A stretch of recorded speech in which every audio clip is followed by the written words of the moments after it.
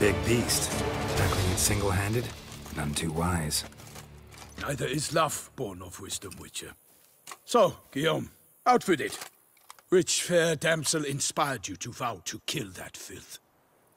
The most beautiful among them,